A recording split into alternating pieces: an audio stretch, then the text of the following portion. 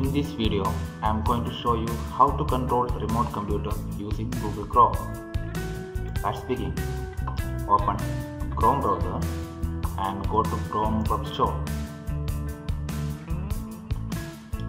Search Chrome Remote Desktop.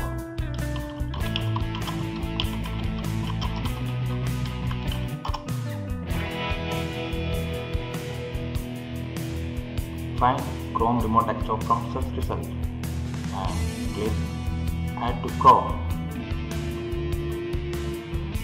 Click Add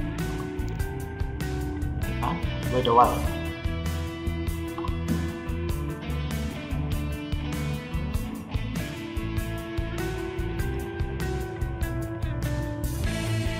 Once you finish adding, it will open a new tab. Here it is. Click it.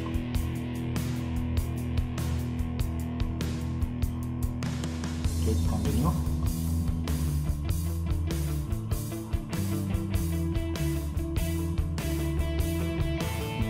Click.